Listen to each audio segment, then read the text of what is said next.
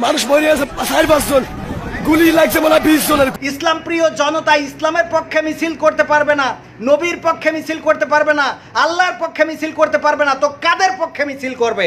যেই কাহিনী আপনারা আজকে শুনেছেন আমি আপনাদেরকে শুধু এতটুকু বলতে চাই এ জাতির কত নির্লজ্জতা এই জাতির ইমানের হালাত কোথায় গিয়ে পৌঁছেছে যে জাতি কোনো অবস্থায় কোনো অবস্থায় ইমানকে হেফাজত করার জন্য কথা বলতে পারছে না।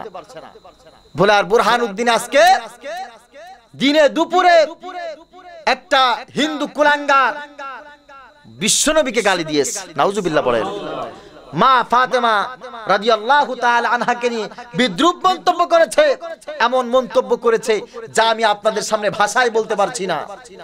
এদেশের সরকার মুসলমান, প্রধানমন্ত্রী মুসলমান, বিরোধী দলীয় নেত্রী মুসলমান, স্পিকার মুসলমান, রাষ্ট্রপতি মুসলমান, এদেশে এদেশে যারা টিভি চ্যানেল চালায় তারা মুসলমান, যারা সাংবাদিক, যারা সম্পাদক, যারা দৈনিক পত্রিকাগুলো চালায় তারা মুসলমান। এদেশের টিভি চ্যানেলগুলো আজান না হলে টিভি চ্যানেল বন্ধ হয়ে যায়। এদেশের পত্রিকার ভিতরে ইসলামিক কলাম না থাকলে পত্রিকা চলে না। এদেশের মাদ্রাসা ছাড়া কোনো মানুষ উঠা বসা চলাফেরা করতে পারে না। এদেশের রাজধানীকে মসজিদে শহর বলা হয়। অথচ এদেশের বিশ্ব নবীকে নিয়ে, বিশ্ব নবীর সন্তানকে নিয়ে, আমাদের কলিজাকে নিয়ে মানুষ বিদ্রুপ মন্তব্য করবে, আমরা প্রতিবাদ করব না। এটা হতেই পারে না, ঠিক কিনা বলেন? দল কারা প্রশাসন আজকে পুলিশ সুপার কাইসারকে বলছি, আপনি মুসলমানদের বুকে আঘাত করেছেন। আপনি মুসলমানদের বুকে আঘাত করেননি, আপনি বাংলাদেশের বুকে আঘাত করেছেন, ঠিক কিনা বলেন? আজকে শুনতেছি বারো জন, তেরো জন নাকি নিহত হয়েছেন, শাহাদাতের পেয়ারা পান করেছেন, কমপক্ষে চারজন শাহাদাতের বড়, শাহাদাতের পেয়ারা পান করেছেন, এটা মিডিয়া মিডিয়া নিশ্চিত করেছে। নিশ্চিত করেছে, এবং শতাধিক মুসলমান আজকে আহত অবস্থায় আছে, মুমূর্ষ অবস্থায় আছে। বিশ্বনবীকে অপমান করার জন্য তার ফাঁসি কামনা করেছে। সেই কুলাঙ্গার, হিন্দু কুলাঙ্গার, তার ফাঁসি কামনা করা হয়েছে, ফাঁসি চাওয়া হয়েছে।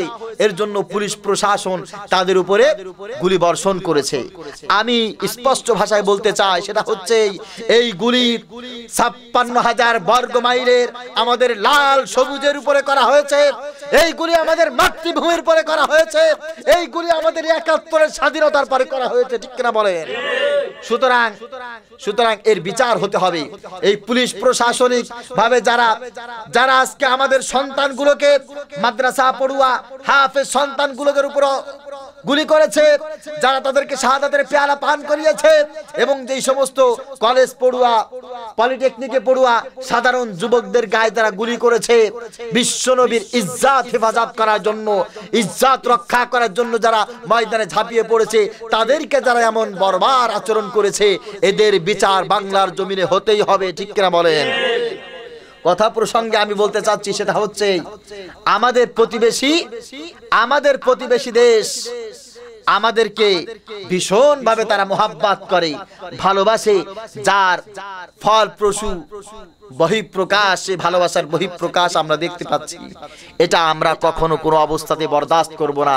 মনে রেখো, শেখ হাসিনাকে শেখ হাসিনাকে যদি তোমরা গালি দাও, তার দলের যেমন লাগে, বঙ্গবন্ধুকে গালি দিলে শেখ হাসিনার যেমন লাগে, জিয়াউর রহমানকে গালি দিলে তার সন্তানের যেমন লাগে, জিয়াউর রহমানকে গালি দিলে তার দলের মানুষের যেমন লাগে, বিশ্বব্যাপী মুসলমানদের কলিজা, মুসলমানদের রূহ, মুসলমানদের আত্মা বিশ্ব নবী সাল্লাল্লাহু আলাইহি ওয়াসাল্লামকে গালি দিলে আমাদের ঠিক তেমন লাগে, ঠিক কিনা বলেন? আমাদের মুসলমানদের নবীকে গালি দেবে রাসূলুল্লাহকে গালি দেওয়া হবে, আমরা চুপ করে বসে থাকব। এটা হতেই পারে না, হতেই পারে না, হতেই পারে না। টুডে অর টুমারো বিশাল আন্দোলনের ডাক দিয়ে এর বিচার বাংলার জমিনে কায়েম করতেই হবে। নাস্তিক ব্লাগার এই সমস্ত দুষ্কৃতী লোকের ফাঁসি বাংলার জমিনে হতেই হবে, ঠিক কিনা আল্লাহ রব্বুল আলামিন এই জাতিকে হেফাজত করুন সকালে বলে আমিন। জিহাদের ময়দানের জন্য বিশ্ব নবী সাল্লাল্লাহু আলাইহি ওয়াসাল্লাম সাহাবীদের কাছে গিয়ে বলছেন, আমার সাহাবীরা, ইসলামের জন্য আজকের এই মুহূর্তে তোমাদের সহযোগিতা বড় বেশি প্রয়োজন। তোমাদের সাহায্য আমার জন্য, ইসলামের জন্য, দিনের জন্য বেশি প্রয়োজন। জিহাদের ময়দানে তোমরা আমাকে সহযোগিতা করো। হযরত আবু বকর রাদিয়াল্লাহু তাআলা আনহু, তার ঘরে যেই পরিমাণ সম্পদ ছিল স্থাবর অস্থাবর সকল সম্পত্তি বিশ্ব নবীর সামনে হাজির করলেন। হজরত উমার তার স্বার্থ মতো সাধ্য মতো সব কিছু বিশ্ব নবীর সামনে হাজির করেছেন। হজরত উসমান হজরত আলী, আল্লাহর নবীর যত জলিল কদর সাহাবি ছিল, সব সাহাবি তাদের সম্পদ বিশ্ব নবী সাল্লাল্লাহু আলাইহি ওয়াসাল্লামের সামনে পেশ করেছেন। বিশ্ব নবী সাহাবিদের সম্পদ দেখে চোখের পানি রাখতে পারেন নাই। বিশ্ব নবী চোখ দিয়ে ঝরঝর করে পানি ফেলে দিয়েছেন। আজকে ইসলামের জন্য ইসলাম রক্ষা করার জন্য আমার সাহাবিরা দুনিয়ার সব সম্পত্তি আমার পায়ের সামনে হাজির করেছে। আল্লাহ আকবার। একজন মহিলা আসছে। বিশ্বনবী সাল্লাল্লাহু আলাইহি ওয়াসাল্লাম দাঁড়িয়ে রয়েছেন। মহিষী রমণী ছোট্ট একটা দুধের বাচ্চা। বিশ্বনবী সাল্লাহামের সামনে হাদিয়া পেশ করেছেন। ওগো আমার নবী, ওগো বিশ্ব নবী আমার কলিজার টুকরা সন্তান এই দুনিয়ায়, এই মুহূর্তে এই সন্তানের দাম আমার কাছে সব চাইতে বেশি। এটা আমার সম্পদ বলেন, সন্তান বলেন, যা কিছু বলেন না কেন, আমার এই সন্তানকে আপনার কাছে যুদ্ধের জন্য আমি এই মুহূর্তে দান করলাম, এই মুহূর্তে আমি সহযোগিতা হিসাবে পেশ করলাম। জিহাদের ময়দানে আমার দুধের বাচ্চাকে আপনি কবুল করে নিন। বিশ্বনবী সাল্লাল্লাহু আলাইহি ওয়াসাল্লাম ডেক ডাক দিয়ে বলছে, ও মহিলা, আমার সাহাবি, আমার যুদ্ধের জন্য টাকা দরকার, পয়সা দরকার, ঢাল দরকার, তরবারি দরকার, অস্ত্র দরকার আমি তোমার দুধের বাচ্চাকে জিহাদের ময়দানে নিয়ে কি করব। আমার ভাইয়েরা, সেই বিশ্বনবীর সাহাবি, সেই মহিষী রমণী এমন একটা কাল জবাব দিয়েছিলেন যে জবাবটা আজকে আমাদের দিলে মোটেও যদি নাড়া দেয়, আল্লাহর ইজ্জতের কসম দিয়ে বলতে পারে, দুনিয়া নষ্ট হয়ে যাবে, দুনিয়া ধ্বংস হয়ে যাবে। আল্লাহর নবীর কোনো একজন উম্মাদ গুনাহ করতে পারবে না। সেটা কি? মহিলাটা কেঁদে কেঁদে বলছেন, ইয়া রাসূলুল্লাহ, ইয়া হাবিবাল্লাহ, আপনার জবান দিয়ে শুনেছি, ইসলাম রক্ষা করার জন্য আপনার কাছে অনেক পরিমাণ সম্পদ প্রয়োজন। আমার কাছে তেমন কোনো সম্পদ নাই। আমার সন্তান আছে।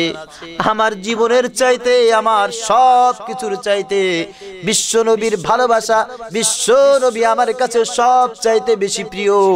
ওগো বিশ্বনবী এই জন্য চায় আমার দুধের বাচ্চারা আপনি জিহাদের ময়দানে নিয়ে যাবেন। কাফের বেদইনারা যখন আপনাকে ডান দিক দিয়ে তীরের আঘাত করবে, আমার বাচ্চাটাকে ঢাল ঢাল স্বরূপ ব্যবহার করবেন। কাফেররা যখন বাম দিক দিয়ে তীর নিক্ষেপ করবে, বিশ্ব নবীকে হত্যা করার জন্য। ওগো বিশ্ব নবী, আমার ছোট্ট বাচ্চাকে ঢাল হিসাবে আপনার বাম দিকে একটু খাড়া করে ধরবেন। আপনাকে যখন শত্রুরা পিছন দিয়ে তীর মারবে আমার সন্তানকে আপনার পিছনে দণ্ডায়মান করে রাখবেন।